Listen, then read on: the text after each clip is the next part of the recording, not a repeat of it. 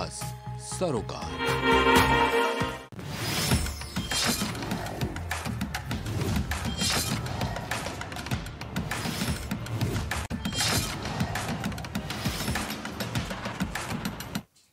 नमस्कार, मैं हूँ मुस्कान असमानी और आप देख रहे हैं प्राइम टीवी की खास पेशकश नगर संग्राम और मैं आप सभी का बहुत बहुत स्वागत करती हूँ। तो इस वक्त यूपी में चुनावी शोर चारों तरफ़ सुनाई दे रहा है। दरअसल यूपी में दो चरणों में निकाय चुनाव होने हैं। जी हाँ, चार मई और ग्यारह मई को निकाय चुनाव के लिए जो जनता है वो अपने मताधिकार का इस्तेमाल करेगी, जिसके नतीजे तेरह मई को आएँगे। लेकिन इसी बीच प्राइम टीवी की टीम भी लगातार हर एक वार्ड में पहुँच रही है, हर एक वार्ड की पड़ताल कर रही है। इस दौरान जब हमारी टीम बहराइच पहुँची तो वहाँ हमारी मुलाकात वार्ड नंबर 18 से बीजेपी प्रत्याशी गुलाम अलीपुर से हुई। इस दौरान उनके प्रतिनिधि भी हमसे मुखातिब हुए, आकर्ष जायसवाल और मदन गोपाल गुप्ता। ये समाज सेवी भी हैं, साथ ही साथ ये बीजेपी प्रत्याशी के प्रतिनिधि भी है। इस दौरान हमारी इन सभी से मुलाकात हुई और अगर आपको हम गुलाम अलीपुरा, जो कि बीजेपी से प्रत्याशी है, उनके बारे में बताएँ तो इनको लगातार जनता का भरपूर समर्थन मिल रहा है। वही एमएलए अनुपमा जायसवाल भी अब गुलाम अलीपुरा के समर्थन में उतर गई हैं। प्रत्याशी ज्योति प्रकाश को लगातार जनता का समर्थन मिल रहा है, लोगों की समस्याओं को दूर करने का वो आश्वासन भी दे रही हैं। तो ज्योति जायसवाल जो है, वो भाजपा की तरफ़ से प्रत्याशी बनाई गई हैं, जिनको भरपूर जनता को तो समर्थन मिल ही रहा है, लेकिन उसके साथ साथ एमएलए अनुपमा जायसवाल भी लगातार उनके समर्थन में उतरी हैं। तो ज्योति जायसवाल की तस्वीरें भी हम आप तक पहुँचा रहे हैं, लेकिन जब हमारी टीम बहराइच पहुँची, यानी कि जब हमारी जो पूरी सहयोगियों की टीम है, जब वे बहराइच पहुँची तो वहाँ हमारी मुलाकात ज्योति जायसवाल के प्रतिनिधि आकर्ष जायसवाल से हुई। इसके साथ साथ समाज सेवी मदन गोपाल गुप्ता के साथ ही ज्योति जायसवाल के प्रतिनिधि मदन गोपाल गुप्ता से भी लगातार हमारी मुलाकात हुई है। आपको बता दें कि वार्ड नंबर 18 से वो अपनी दावेदारी को पेश कर रही है और भाजपा ने इनको चुनावी मैदान में उतारा है। तो ज्योति जायसवाल प्रत्याशी है जो चुनावी मैदान में उतरी हैं। तो इस दौरान उनके प्रतिनिधि आकाश जायसवाल और साथ ही साथ मदन गोपाल गुप्ता जो कि समाज सेवी भी हैं, साथ ही साथ ज्योति जायसवाल के प्रतिनिधि भी हैं। तो हमारे साथ ये प्राइम टीवी पर सीधे जुड़े हैं। पहले तो मैं आप दोनों का प्राइम टीवी पर बहुत बहुत स्वागत करती हूँ। जी। आकर जायसवाल जी, इस बार भाजपा ने आपकी पत्नी पर दावेदारी पेश की है और आप लगातार जनता के बीच जा रहे हैं तो वो कौन कौन से मुद्दे हैं जिसको लेकर आप जनता का समर्थन मांगने का प्रयास कर रहे हैं? जी, ज़ाहिर सी बात है। मैं जनता के बीच में जैसे का विकास दस वर्षों से हुआ यहाँ पर एक निर्दलीय सभासद है, जिसके द्वारा कोई काम इधर नहीं कराया गया है। नालियाँ गुलाम अलीपुरा की पूरी ब्लॉक। सड़कें पूरी खराब हैं। गली में आप चले जाइए आपको गड्ढे ही गड्ढे नज़र आएँगे यहाँ पे। सभासद के द्वारा कोई भी काम यहाँ पे कराया नहीं गया है और जनता को आए दिन परेशानियाँ उठानी पड़ रही हैं। आज भी सुबह यहाँ रामघाट मंदिर हमारे यहाँ मशहूर है। रामघाट मंदिर के बगल से एक नाला गया है। जिसमें पानी जा ही नहीं पाता है जिसके लिए हम लोगों ने नगर पालिका आयुक्त के साथ हम लोग गए और वहाँ पे मंगाया गया तो उसमें उन्होंने प्रेशर से भी किया लेकिन नहीं कोई उसमें फ़ायदा मिला उसको। ठीक है। मदन जी लगातार आप बतौर समाज सेवी के रूप में काम करते हैं तो ज़ाहिर सी बात है कि जनता से आप ज़्यादातर संपर्क में रहते होंगे। तो आपके हिसाब से ऐसे कौन से काम है जो अभी तक हो जाने चाहिए थे लेकिन नहीं हो पाए? ये हम सभी जनतावासी मोहल्ले में रहते हैं और वहाँ पर साफ़ सफ़ाई नहीं होती है। चार चार महीने हो जाते हैं कोई झाड़ू लगाने वाला आदमी नहीं आता है। दिवाली दशहरे पे हम लोगों को बहुत प्रयास करना पड़ता है तब जाके कहीं सब सफ़ाई हो पाती है। तो इस तरीके से परेशानियाँ बहुत सी हैं नालियाँ भरी रहती हैं। आने जाने वालों को दिक्कत होती है। कोई बच्चा गिर जाता है उसमें किसी की गाड़ी नहीं पास हो पाती है। इस तरीके की तमाम समस्याएँ हैं।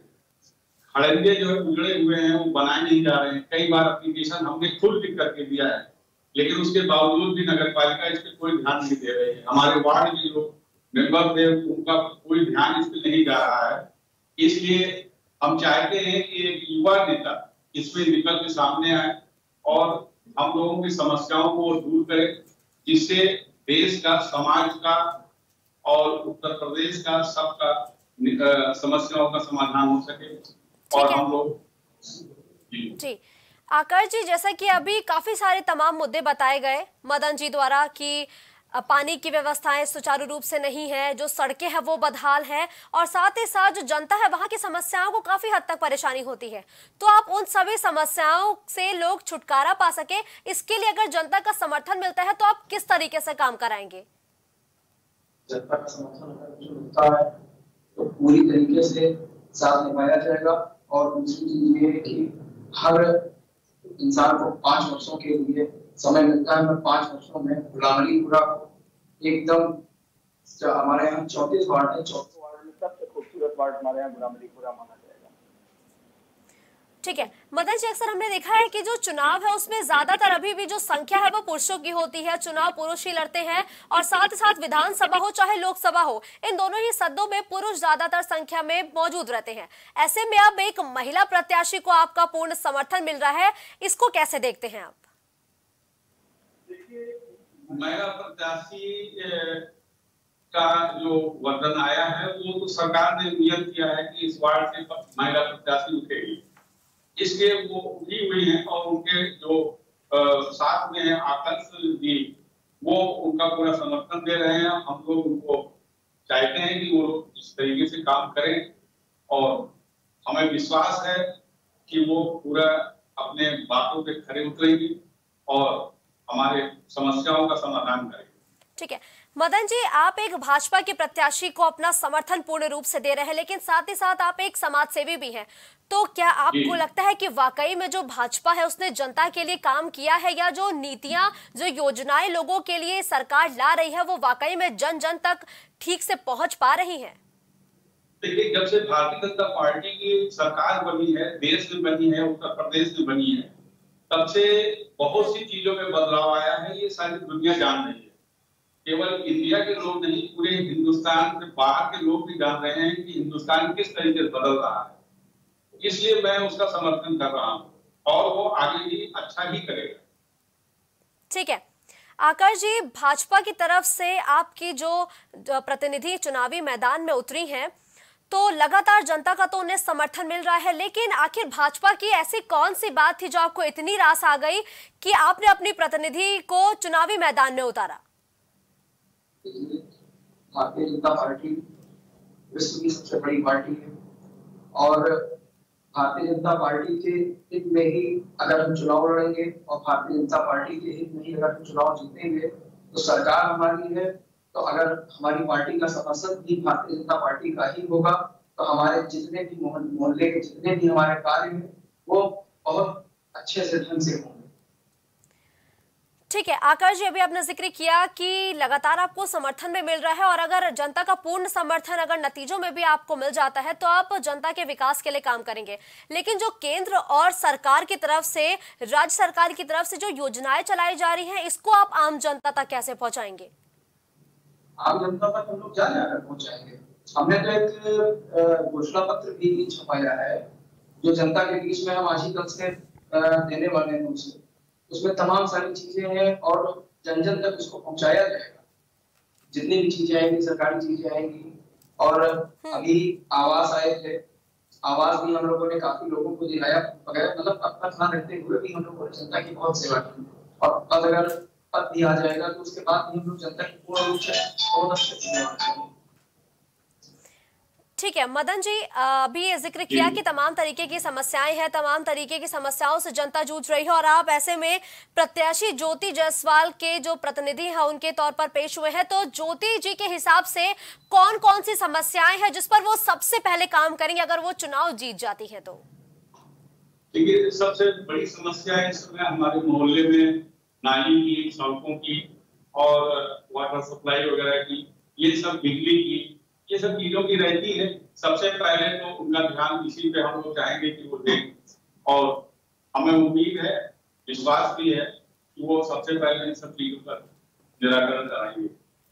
ठीक है। आकर जी, जैसे कि अभी आप ज़िक्र किया आपने कि अगर जनता का पूर्ण समर्थन आपको प्राप्त हो जाता है तो आप कहीं ना कहीं जनता के लिए हर एक वक्त, हर एक समय मौजूद रहेंगे। लेकिन अमूमन हमने ये देखा है कि जब जनता का समर्थन मिल जाता है तो जो उनके जनप्रतिनिधि हैं, वो उनके बीच पहुँचते भी नहीं है।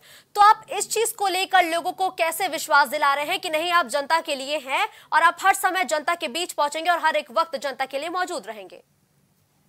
मैडम इसको पहले बताना तो इम्पॉसिबल होगा। ये तो जनता का समर्थन मिलने के बाद ही आपको और जनता को दिखाई देगा, क्योंकि आज ही हम मैं अभी थोड़ी देर पहले आपसे एक चर्चा की थी कि अभी हम लोगों के पास हमारे पास कोई पत्रिय नहीं था। उसके पहले भी हम लोग जनता के लिए हमेशा सदैव, चाहे रात में हो, चाहे दिन में, हम लोग हमेशा खड़े रहते थे। और पद मिलने के बाद तो जनता का काम और बेधड़ाके से हम लोग कर रहे हैं उसमें कोई शक ही नहीं है। ठीक है आकर जी ज्योति जी चुनाव लड़ रही है। ज़ाहिर सी बात है कि उनको जनता का समर्थन मिल रहा होगा और चुनाव अब काफ़ी नज़दीक भी है। तो ऐसे में ज्योति जी का ये पहला चुनाव है या इससे पहले भी वो कोई चुनाव लड़ चुकी हैं? ज्योति जी का ये पहला चुनाव। ठीक है ज़ाहिर सी बात है कि ज्योति जी का ये पहला चुनाव है तो रणनीति भी आपकी काफ़ी कुछ अलग होगी चुनाव जीतने के लिए। तो आप किस रणनीति पर काम कर रहे हैं फ़िलहाल? रणनीति क्या हम सिर्फ़ विकास के लिए काम विकास करने के लिए काम कर रहे हैं जो दस वर्षों से गुलाम अलीपुरा में कुछ भी नहीं हुआ। कोई भी विकास कार्य नहीं हुआ है। जरा सा कहीं कोई विकास कार्य उसी विकास कार्य के लिए ही ज्योति जी को मैदान में लाया गया है कि ज्योति जी यहाँ से चुनाव लड़ेंगी। अगर जीतती है जनता अगर उनको एक बार आशीर्वाद देती है तो हम गुलाम अलीपुरा को जैसा कि अभी मैंने आपसे पहले बताया चौबीसों वार्ड में सबसे खूबसूरत वार्ड अगर हमारा होगा तो वो बुला ठीक है। मदन जी, भाजपा की तरफ़ से ज्योति जी को प्रत्याशी घोषित किया गया है और ज़ाहिर सी बात है कि तमाम और भी दल होंगे जिसके प्रत्याशी चुनावी मैदान में उतरे होंगे। तो क्या आपको लगता है कि कोई प्रत्याशी ऐसा है जो चुनौती बन सकता है? नहीं। नहीं।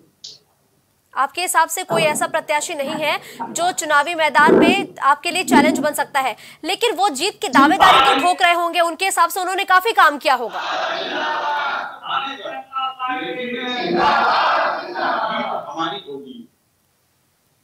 चैलेंज में तो और लोग मैदान में हैं, ऐसा नहीं है।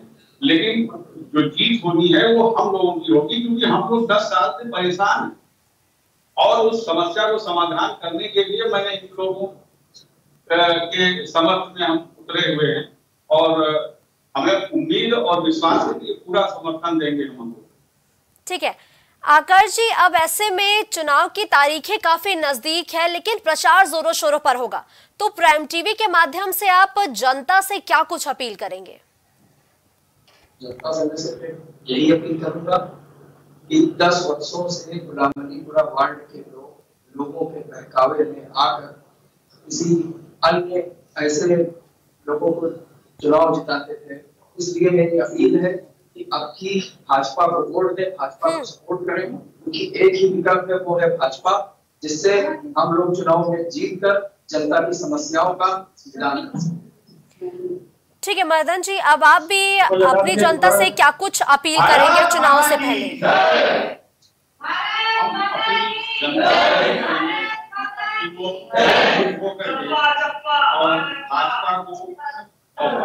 जी मदन जी वो उनको वोट दें और उनको मैदान में